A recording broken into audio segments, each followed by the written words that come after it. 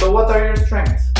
I'm an optimist and a positive thinker. Hmm, that's interesting. Can you give me an example of that? Yes, sure. When do I start?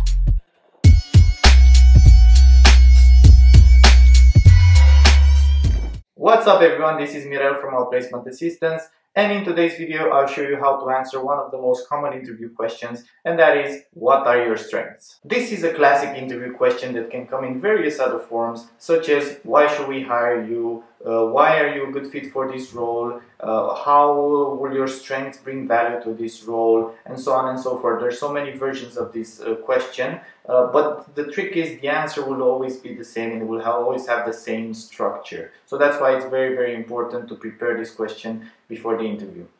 In this video we'll be looking at why do interviewers ask this question in the first place, what are some tips and tricks when answering this question, uh, a great formula, I will give you a great formula for uh, answering it, and last but not least, how do you identify the strengths, each individual strength for each role? How do you tailor your answer for each role? So why do interviewers ask this question? First of all, they want to see if your strengths are suitable for the role.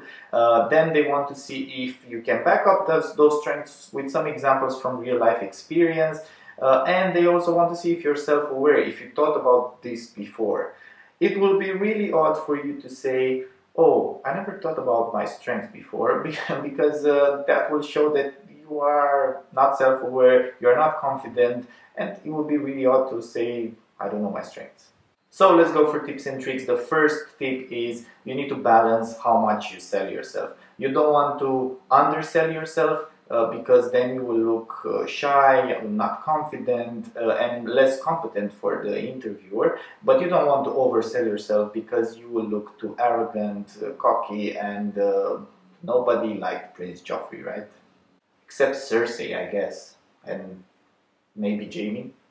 The second tip is that you need to showcase your strengths by telling stories from your past experience. And a great way to tell a story is by using the STAR technique. And for those of you who are not aware of what STAR stands for, it stands for situation. So you're telling what was the situation they faced, uh, what was the task at hand, how did you act, so action, and the, the last one is result, it's very important. So what were the results of what you did?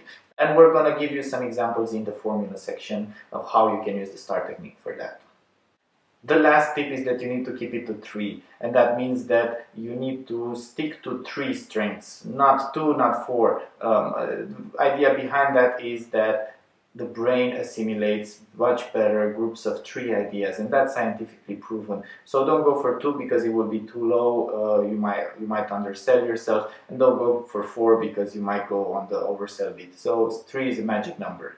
So what's a great formula for a good answer i like to use ehs that's not a really cool sounding acronym is it hmm. so ehs stands for your experience your hard skills and your soft skills. The first bit of the formula is your experience, and that is basically your industry knowledge. And while I know this is technically a hard skill, um, it's very important to emphasize your experience uh, every time during the interview, at every question, and this is a great opportunity to do that. And a great formula to use to uh, present your experience as a strength would be uh, one of my main strengths uh, is that I have extensive experience in the, and you mentioned the industry, doing this type of role uh, while I was working as a, and you mentioned which roles you were working in. The second part of the formula, the H, uh, stands for hard skills and uh, these are those skills that you gained through your experience, through your education, through your training, um, uh, trainings and so on. So you, you need to pick one of those hard skills that are relevant for the job and present it here. Uh, some skills, and you have some examples on the screen, uh, could be programming skills, Excel uh, software management tools and so on. you need to pick one and a great formula to use again for emphasizing a strength that is your hard skill would be during my time in, and you mentioned the company, I have developed my, and you mentioned the hard skill, um, as I had to do, and you mentioned what you did. So for example, during my time in Lloyds, I have drastically improved my Excel skills as I had to analyze large databases and create complex reports and dashboards. The last part of the formula are the soft skills, and these are your personal traits, uh, the ones that shape how you work. Um, and some of them could be you are very great team worker, you're a great communicator, you're very good at problem solving, and so on and so forth. You can see on the screen some examples. A great way to present your soft skills as a strength is to use the STAR technique that I just mentioned to tell a story. And you can say something like, in my role as a, uh, and you mentioned the role, I had to, uh, and you mentioned what was the problem, so I have, and you mentioned what did you do, and then the result was, and you mentioned what was the result. So, for example, in my last job, I had to solve a really complex problem around a huge backlog of work that the team had. I have applied the A3 problem solving technique, identifying the root causes, prioritizing solutions, and implementing them. The result was a decrease of 60% of the backlog in the next two months. And that's your EHS formula that you can use for answering what are your strengths. And again, it's uh, your experience, one hard skill, and one soft skill. If you want to find more useful formulas like this one, be sure to visit outplacementassistance.com and download for a great price our complete interview guide. I really recommend this guide because it has over 100 interview questions uh, from classic interview questions such as what are your strengths to character and competency questions uh, and even brain teaser questions such as how many babies were born in the UK last year. So what do you need to do in order to find the right strengths for each individual role that you apply for? Well, it's really easy. Usually the strengths are in the job description itself. Uh, so you can read the roles, responsibilities of the job, and then in the bottom bit you will have what are the strengths, what are the qualifications that are needed for each role. If you don't have that in the job description, you can search other job descriptions for similar roles and you can work around that. So let's take this head of optimization role as an example and we can read through, as I said, the job's responsibilities first, and we already see from the get-go what the company is searching for and what kind of things we can use when presenting our strengths. We can see things such as knowledge of credit cards here, or being the driving force of change and optimization across the entire customer journey.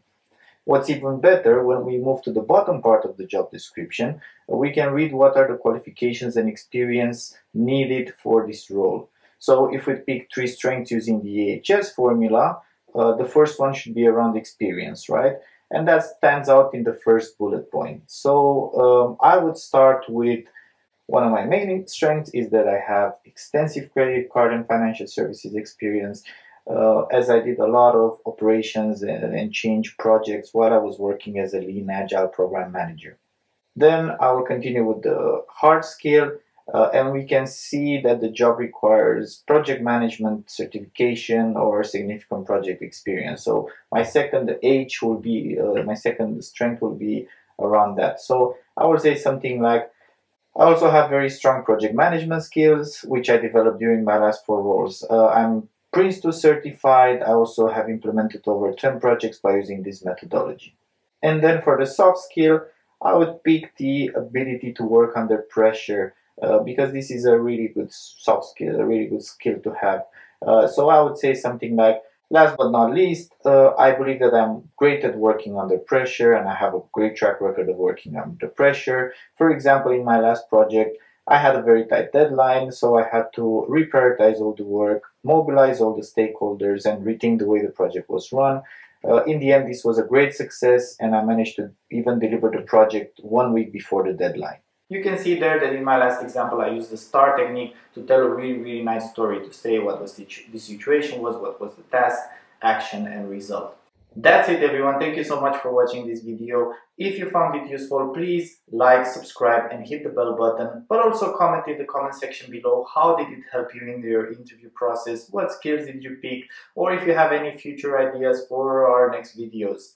If you want to have more content like this and if you want to have a complete collection of the interview questions, feel free to download uh, for a really, really uh, low cost our interview question guide with over 100 interview questions explained. So thank you so much again and see you in the next one. So why do interviewers ask this question? First of all, they want to, I don't know.